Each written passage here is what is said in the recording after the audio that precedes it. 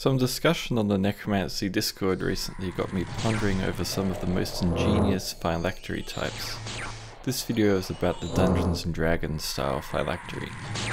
In case you don't know already, which is pretty unlikely if you're a follower of this channel, when a necromancer wishes to become a lich, he will perform a ritual that kills his body, but whisks his soul away to the safety of an object called a phylactery.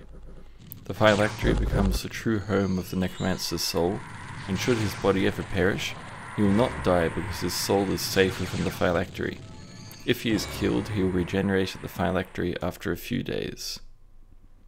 This means the lich will want to protect his phylactery very well.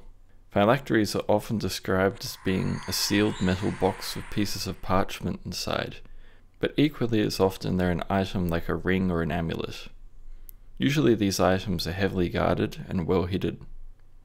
But perhaps the best hiding spot for a phylactery isn't a dusty old crypt somewhere, with heaps of undead guards around it. I mean, it's kind of obvious, isn't it? If I was someone that had recently defeated a lich and now sought his phylactery to kill it for good, my first thought would be to look in some heavily guarded place for some fancy jewelry, which is probably the phylactery.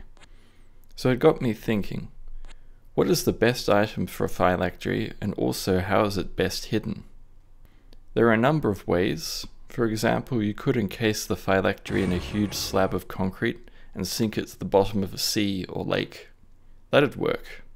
You'd regenerate underwater somewhere near it, and just be able to swim to the surface and then get back to work. The problem with this, though, is that your phylactery is always in the same place. It's also going to be very difficult to relocate it if you have to. It's not a bad hiding spot for a phylactery, but I think you could do better. I tend to believe that things are often best concealed in plain sight. The phylactery should be a relatively mundane item, but also a somewhat valuable one. You want it to be mundane enough that it doesn't draw any attention to itself, but valuable enough that people won't mistreat it. The danger of mistreating a phylactery isn't that it could be destroyed.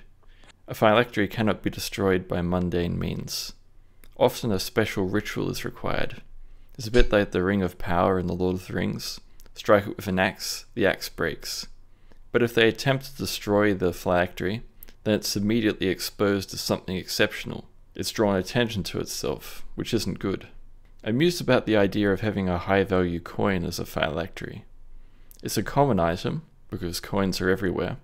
People are unlikely to destroy them, because their value as money usually surpasses whatever kind of material worth they possess. If your phylactery was a coin, people would carry it around and guard it, without ever knowing what it truly was. If word somehow gets out that the Lich is using a coin as a phylactery, they're going to have a hell of a time inspecting each and every coin in the kingdom. There's probably tens of thousands of them. Some of these coins lie forgotten in chests or lost down in gutters. Hell, maybe someone even decided to make a nice coin mosaic out of them. They might eventually be able to inspect each and every coin around, but it'd be a huge undertaking and may not yield any results. The biggest danger with the coin I can think of is if the coin is made of gold. Someone may attempt to melt coins down into gold bars, and when they attempt to melt the phylactery down, it wouldn't work, and then the cover is blown. If the coins are made of cheap, worthless materials like pewter or zinc, then the defense is much stronger. I think for a lich who wants to hide his phylactery in plain sight, a coin is quite a good option. Another great candidate would be some kind of lesser magical item. Take for example a brooch of shielding. This is a valuable enough item that someone wouldn't want to see it destroyed for material gain.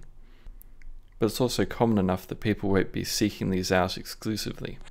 Most adventurers carry a brooch of shielding around at some point.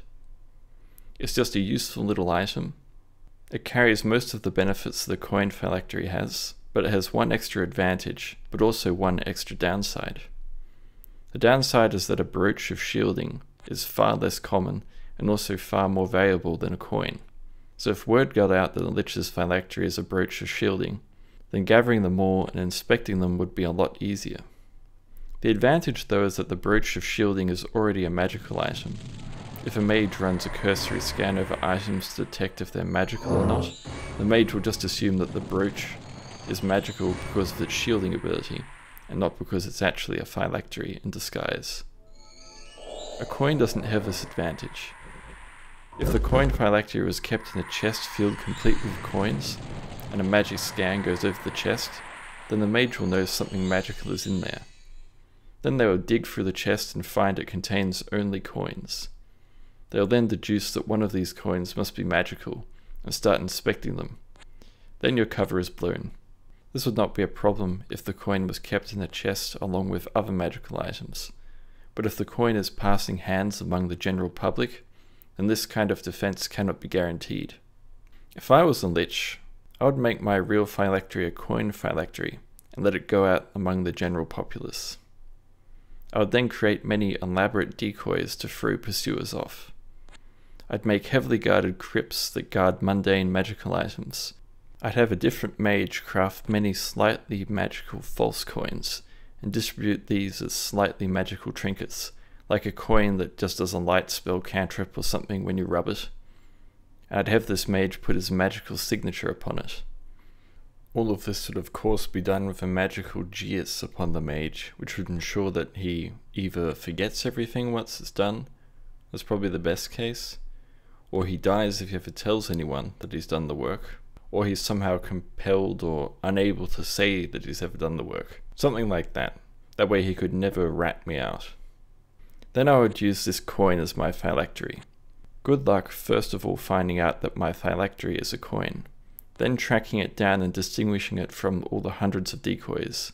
Please let me know in the comments section what phylactery you would choose and why, and also how you conceal it. I'm genuinely interested because I'm sure that some of you have come up with even better ideas than the ideas I came up with in this video. Thanks for watching.